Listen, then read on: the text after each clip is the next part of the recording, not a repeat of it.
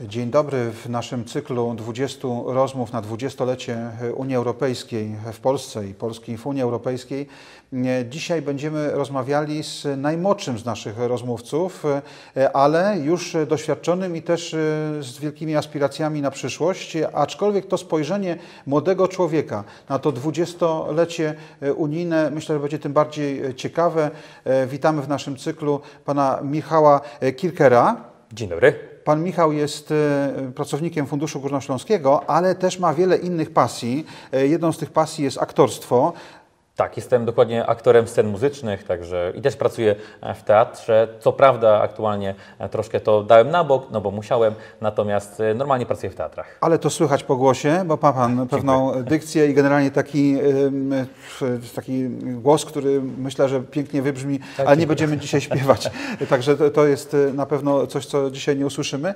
Mm, ale ponadto jest też społecznikiem, również ma aspiracje ku temu, żeby zostać samorządowcem wkrótce wkrótce e, samorządowcem jaworznickim, e, bo to jest e, ten okres wyborczy, więc dokonuje się wiele zmian i dobrze, że młodzi ludzie chcą brać sprawę we własne ręce. To prawda. Startuję w tym roku w wyborach samorządowych na prezydenta miasta Jaworzna. Była taka właśnie troszkę idea, to wyszło troszkę od ludzi.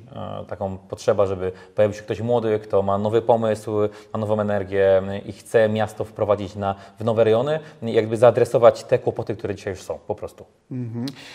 Pan jest człowiekiem młodym. E, w momencie, kiedy Unia Europejska przyjmowała Polskę mhm. w swoje szeregi, wówczas był Pan e, parolatkiem, można tak, powiedzieć. Dokładnie tak. Ale dlatego pytamy, to jest ciekawa perspektywa.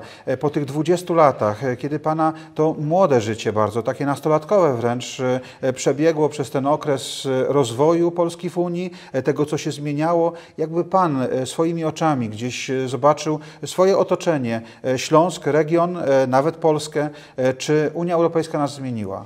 Uważam, że jak najbardziej e, tak. Jak byłem dzieckiem, to jak przez mgłę, co prawda. Pamiętam te czasy granic, przejeżdżania. Była to pewna przygoda. Z perspektywy dziecka mało ciekawa, bo była mocno stresująca, e, przyznaję. Natomiast dzisiaj widać te, te różnice możliwości. To chociażby ten sam fakt, że dzisiaj mamy język angielski bardzo popularny. Jesteśmy w stanie się nim wszędzie porozumieć i umówmy się, duża część Polaków w tym języku się potrafi porozumieć co już jest e, różnicą. Dla przykładu, moja mama świetnie mówi po rosyjsku, po angielsku, no powiedzielibyśmy duka, ale stara się e, jak może. Więc jest ta różnica. Też to widać w kwestii rozwoju e, miast i tych możliwości. Tablice z napisem sfinansowaną z funduszy europejskich są w wielu miejscach. Moje miasto Jaworzno też jest tego przykładem. Co prawda 5, 10, 15 lat temu było to dużo bardziej rozwinięte i dużo miasto się lepiej rozwijało. Dzisiaj e, kadencja ostatnia aktualnego włodarza no już pokazuje, że to tak nie funkcjonuje dobrze i coś tam nie zagrało, bo tych możliwości finansowania jest dużo mniej i to miasto się dużo mniej rozwinęło tak naprawdę, troszkę stanęło w miejscu. Natomiast sama Unia Europejska w kwestii naszego województwa czy kraju, no wiele wprowadziła tak naprawdę też e, dobrego i to widać gołym okiem, co się w mieście i w kraju czy w województwie regionie zmieniło. Mhm. Pan myśli myśli o tym, żeby e, przyjąć, e, znaczy zdobyć tekę samorządowca, prezydenta miasta, najważniejszej mhm. osoby w danej gminie. E, to nie jest łatwy chleb, to jest najważniejsze stanowisko, ale też wiążące się z największą odpowiedzialnością, jeżeli chodzi o społeczeństwo. Mm, tutaj skąd bierze się w Panu chęć do tego, żeby zadziałać na tym polu? Ma Pan pracę, ma Pan pasję, wypełnia one panu, wypełniają one Panu dzień, a tutaj bierze Pan celownik na robotę, która 24 e, godziny to za mało. To prawda.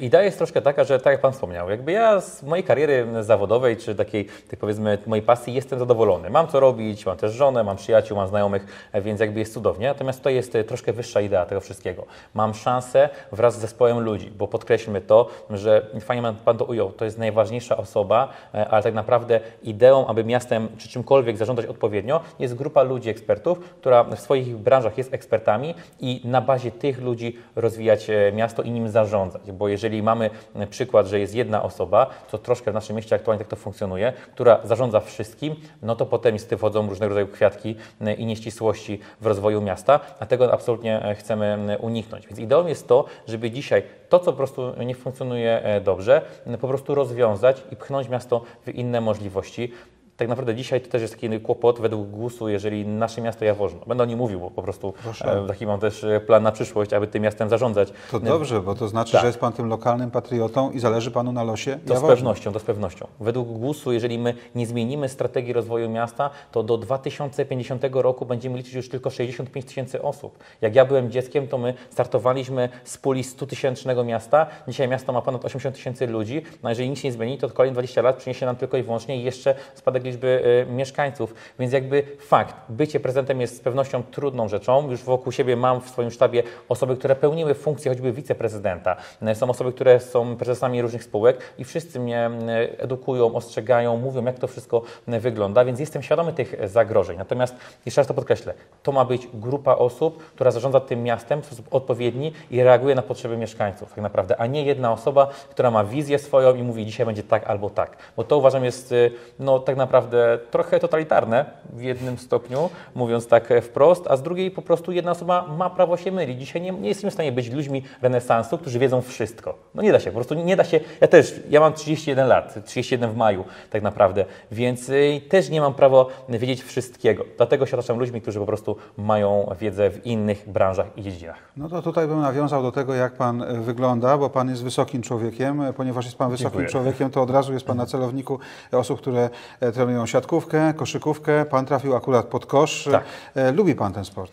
Y, Tak, koszykówka jest m, moim sportem, moją, moją pasją tak naprawdę e, sportową i to jest ciekawe, e, co pan redaktor powiedział, bo jestem wysokim człowiekiem, wchodzę na boisko i się okazuje, że jestem super średni, że jest wiele, wiele, wiele e, mężczyzn, graczy dużo wyższych ode mnie, e, nawet na tym poziomie, którym my gramy, bo aktualnie trenuję z trzecią ligą mężczyzn MCK jest e, Jaworzno. Natomiast e, tak, koszykówka jest, jest moim sportem i przyznaję, że pozwala mi mentalnie odetchnąć, a przy okazji trzymać formę.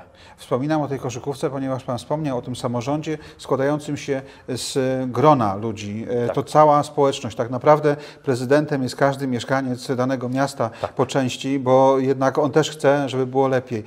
A ta koszykówka, no musi Pan grać w zespole. Tam nawet jak jest Pan wybitną jednostką, to ten jeden zawodnik, okej, Michael Jordan, Kobe Bryant, e, ale powiedzmy, że nawet oni w pojedynkę nie są w stanie przeciwstawić się tej całej drużynie przeciwnej.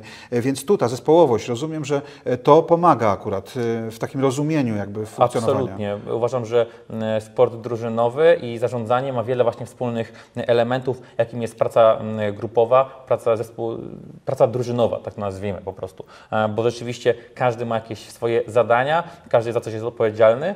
E, Ja na przykład w zespole często jestem odpowiedzialny za zabezpieczenie strefy podkoszowej i zbiórki, tak? Oczywiście, więc staram się to robić najlepiej jak mogę. Oczywiście wychodzi z tym wszystkim różnie, natomiast jeżeli każdy w kwestii zarządzania miasta robi swoją pracę, wykonuje poprawnie i daje z siebie 100%, to wówczas mamy szansę na to, aby większość rejonów, które dzisiaj są kłopotem, po prostu były zaadresowane i rozwiązane.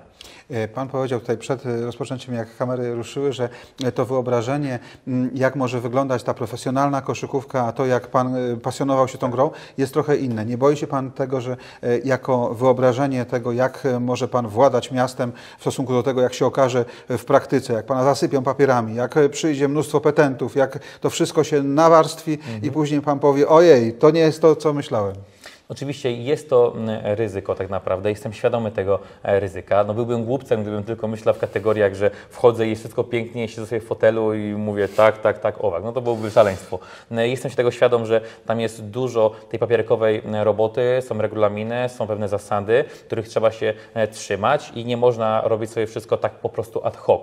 Natomiast, tak mówię, są wokół mnie osoby, które już tego mnie, mnie edu- edukują, chociażby wicemarszałek województwa Łukasz Czopik, który jest też bardzo dla mnie pomocną osobą, która dużo m, sprzedaje mi tych tipów, tak nazwijmy, m, samorządowych, jak zarządzać e, tego typu m, jednostkami, więc e, jestem o tyle w takiej spokojny, że ja wiem, że ten zespół ludzi, który już dzisiaj zgromadziłem, a to jest e, no, grupa osób, około 50 osób tak naprawdę, z różnych branż, z różnych sfer, także osób, które dzisiaj zarządzają i piszą wnioski o fundusze europejskie, między innymi są takie osoby w naszym sztabie, więc te osoby już dzisiaj są dla mnie wielkim wsparciem i wiem, że będą wielkim wsparciem e, dalej. Moją ideą jest to, żeby w mieście każdy mógł się wypowiedzieć, każdy mógł na miasto wpływać, żeby w mieście mogli się ludzie angażować w to życie społeczne e, miasta. Więc wiodąc tej idei, ja naprawdę zapraszam do współpracy osoby, które chcą rozmawiać, które nie chcą przyjść i tylko pytać się mnie, jak to wygląda, tylko chcą proponować, chcą sugerować, chcą pokazywać rozwiązania i możliwości ich wprowadzenia.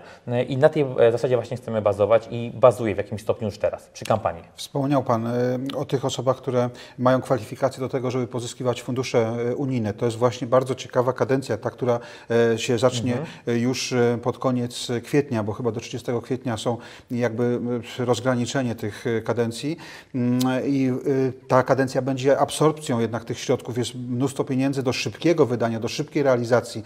To akurat będzie kluczowe, bo e, ta kadencja, która mija, akurat miała inny model funkcjonowania. To z pozycji państwa, bez środków tak naprawdę europejskich, decydowano o inwestycjach. Rozumiem, że panu bliższa jest, bo pan to wspomniał już wcześniej, jednak ta samorządność, jednak żeby to samorząd miał więcej kompetencji, więcej funduszy, e, aniżeli e, decyzja zapadała w Warszawie o tym, czy ma powstać droga, basen, czy też e, jakaś inna funkcja. No, oczywiście, no, to jest najbardziej logiczne, jeżeli żyję w danym mieście i nim zarządzam, to najlepiej w jakimś stopniu znam potrzeby mieszkańców i tego, co miasto dzisiaj potrzebuje. To jest taka sama zasada, jak ja bym dzisiaj chciał podjąć decyzję za inne miasto, e, chociażby Katowice, że drodzy Państwo, mam pomysł, zróbcie w Katowicach to i to. Czy to jest potrzebne? No nie wiem, ale tak mi się wydaje. No, Katowice wiedzą lepiej, co, co potrzebują. Tak samo Jaworzno e, wie lepiej, co potrzebuje, niż żeby to było tak centralnie planowane z Warszawy. Więc tak, jak najbardziej te pozyskiwanie tych, tych, tych funduszy przez samorządy powinno być możliwe.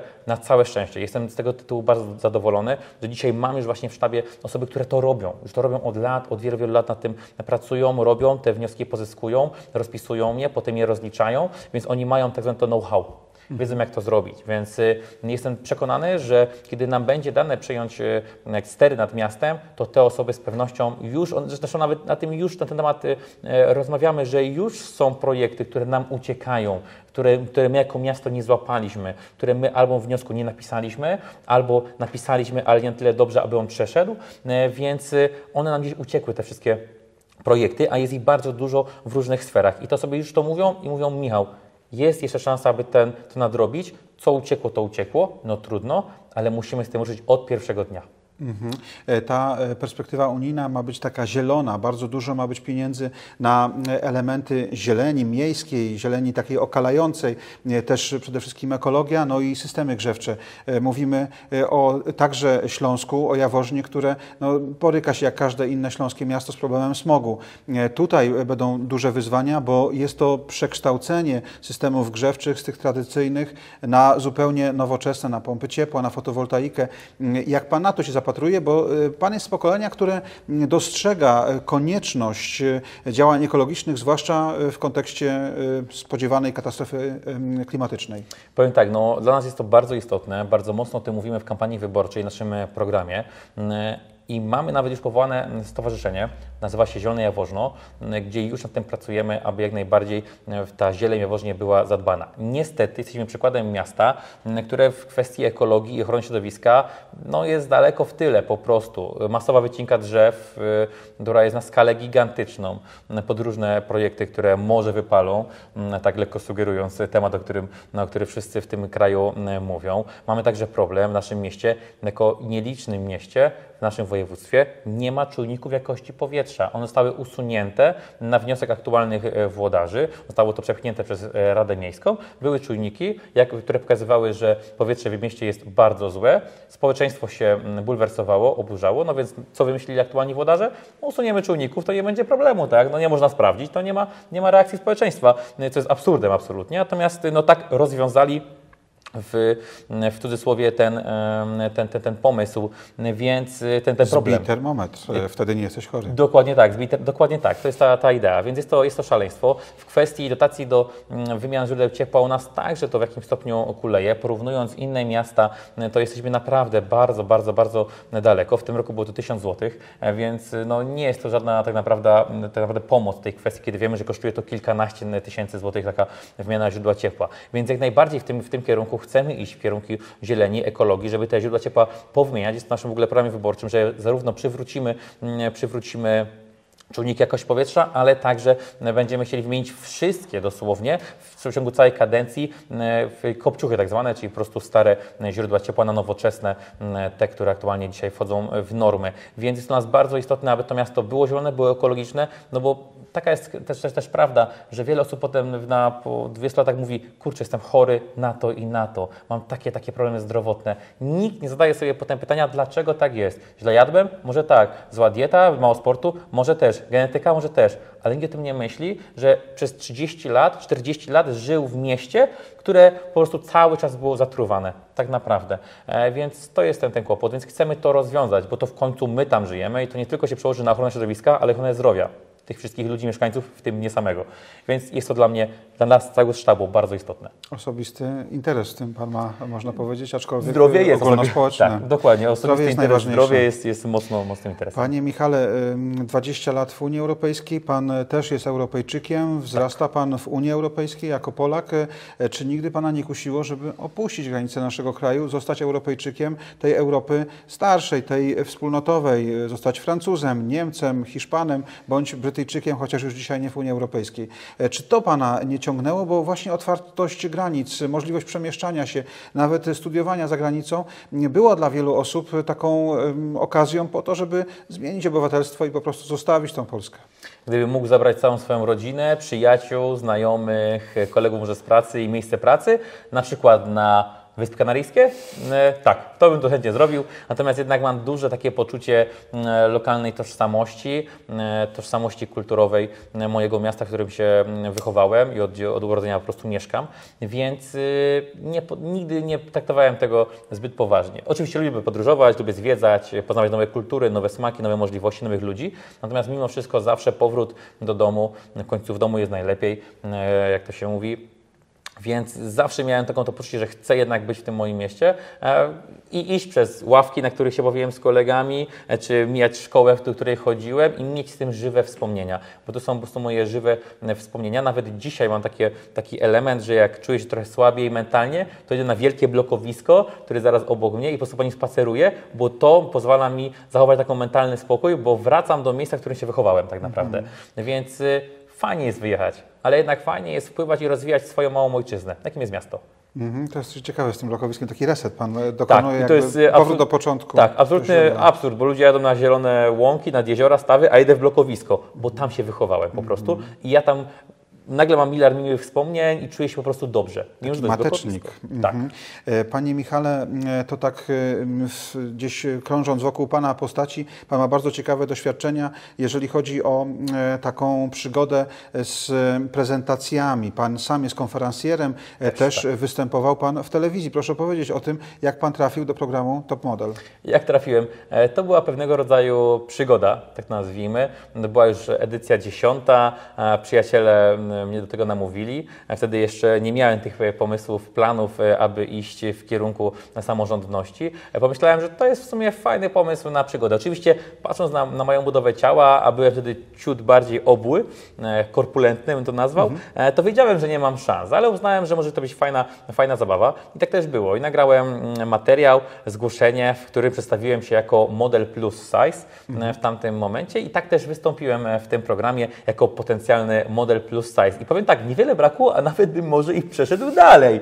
E, Bo gdzieś tam do, dobry miałem feedback od e, jurorów. Finalnie się nie udało, może i dobrze, tak miało po prostu być. Natomiast była to po prostu e, przygoda i takie też, też zwrócenie uwagi, że dzisiaj moda jest pewnego rodzaju sztuką, Natomiast też są osoby, które są moje postawy, bądź może nawet ciut większe ode mnie i też chciałyby modnie się ubierać, czy w, właśnie w ten sposób, jak dzisiaj są na pokazach mody prezentowane y, stroje i kostiumy. Więc jakby może dla takich osób jak my, ciut większych, też powinny być takie stroje tworzone. Ale na tym Pan nie zaprzestał przygody z taką medialnością. Pan e, troszkę popracował w mediach, Pan troszkę e, zobaczył, jak to wygląda e, z tej strony dziennikarskiej, ale tej medialnej, jakby takiej rzeczywistości, która towarzyszy nam wszędzie. Tak dużo mediów, jak dzisiaj funkcjonuje w ogóle w takiej rzeczywistości społecznej, nigdy jeszcze nie było. W zasadzie każdy jest swoim takim prywatnym youtuberem, czy też influencerem.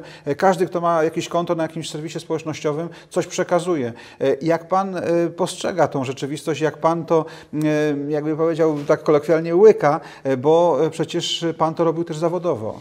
Tak, no byłem dziennikarzem w lokalnej telewizji, Mm, no jestem aktorem, więc też pracowałem czy na planach zdjęciowych, serialach, czy, czy w teatrze, więc y, te media były mi no, był w moim życiu non-stop tak naprawdę mm, od wielu, wielu lat. Natomiast dzisiaj w kwestii mediów społecznościowych i tego wszystkiego, no to ma to swoje plusy i minusy, jak wszystko. Jest wiele zagrożeń z tego mm, płynących. Mm, Troszkę wiele osób ubarwia swoje życie w stosunku do tego, jakie naprawdę jest. Natomiast, no tak Pan mówi, każdy jest swoim medium i tak naprawdę ma możliwość dzisiaj opiniotwórczą w jakimś stopniu. Każdy ma prawo napisać na Facebooku, na Instagramie, na, na Twitterze, Xie dzisiejszym, czy gdziekolwiek indziej swoją opinię na jakiś temat.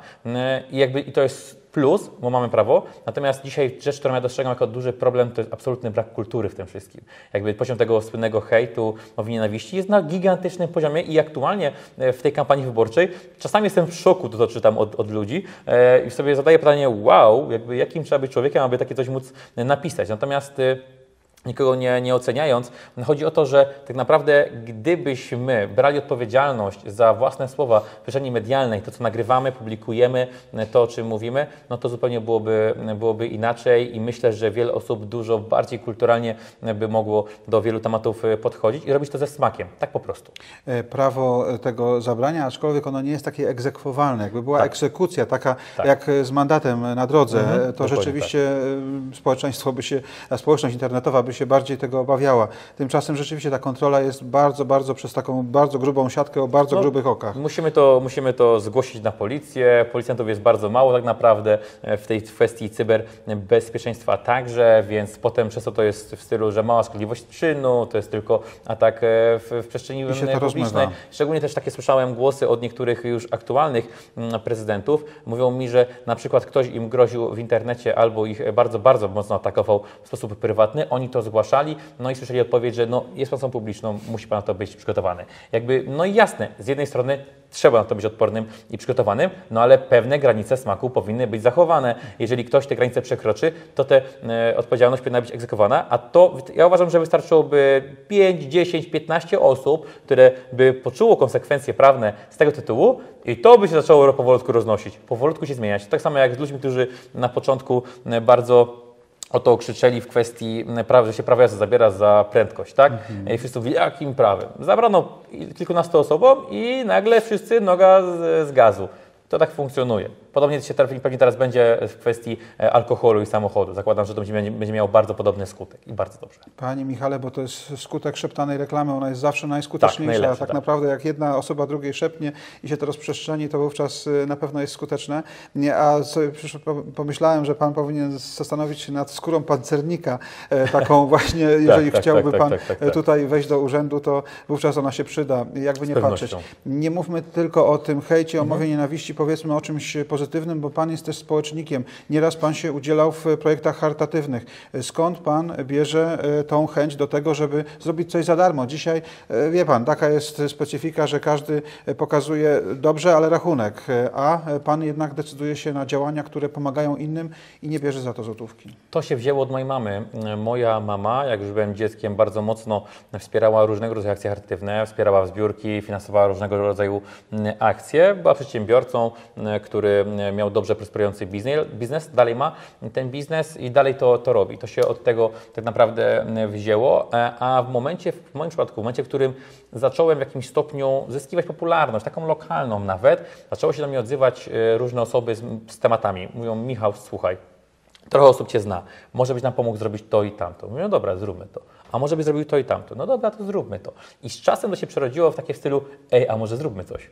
I to taki jest naturalny proces. To już było gdzieś tam we mnie zakorzenione w dzieciństwie, za dziecka. Potem ktoś powiedział raz, powiedział drugi raz, a może zrobiłbyś to, a może byś nam pomógł w tym, a może w tamtym. Ja mówiłem, okej, okej, mogę, mogę, mogę, mogę. I się nagle urodziło, ej, to w sumie ja też może coś fajnego zrobię. No a te moje, jak to się mówi, zasięgi dzisiaj popularne, e, powolutku rosną sobie w jakimś tam stopniu e, i wiem, że ta sprawczość jest coraz większa. No w tamtym roku chociażby e, organizowałem spektakl charytatywny na rzecz hospicjum Jaworznickiego, e, Homo homini imienia świętego brata Alberta i zebraliśmy, jak dobrze pamiętam, ponad 45 tysięcy złotych na hospicjum przy pomocy oczywiście Urzędu Marszałkowskiego w Katowicach i wielu innych e, podmiotów i wielu innych ludzi. Natomiast jest to, jest to kwota, e, która tak naprawdę zasiliła konto mm, e, hospicjum. I to jest tylko i wyłącznie plus, więc takie rzeczy można robić. No a przyznaję, to sprawia potem radość, tak? Jasne, no, Materialnie z tego niewiele mamy, tak? Parę zdjęć, może wideo, e, jest dużo wspomnień na, na szczęście. E, No i to takie to poczucie, że ej, zrobiliśmy coś naprawdę fajnego. Ale te pieniądze posłużą hospicjum, a to jest bardzo ważna instytucja, często niedoceniana e, w swojej działalności, gdziekolwiek by się znajdowała.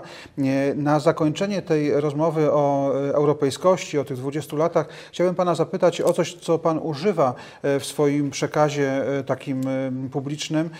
Pan używa terminu tożsamość ta lokalna, tożsamość e, taka jaworznicka, ale generalnie ta tożsamość jest tutaj istotna właśnie w kontekście Unii Europejskiej. My jesteśmy wspólnotą, my jesteśmy Europejczykami, ale jesteśmy Polakami, jesteśmy Ślązakami. Ten region się tutaj liczy. Ten regionalizm w, każdym, w każdej części Unii Europejskiej jest zauważalny niezależnie od kraju. Nie, Pan e, to postrzega w sposób bardzo lokalny. Proszę wytłumaczyć, o co chodzi w tej e, tożsamości takiej miejscowej.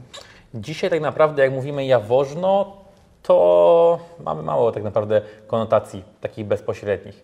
I to jest problem. Dzisiaj niestety wiele osób używa takiego sformułowania, które jest bardzo mm, przykre i krzywdzące, jak Jaworzno, miasto sypialnia. Że my w tylko jedziemy, śpimy i kulturę, sport, y, czy pracujemy poza granicami miasta.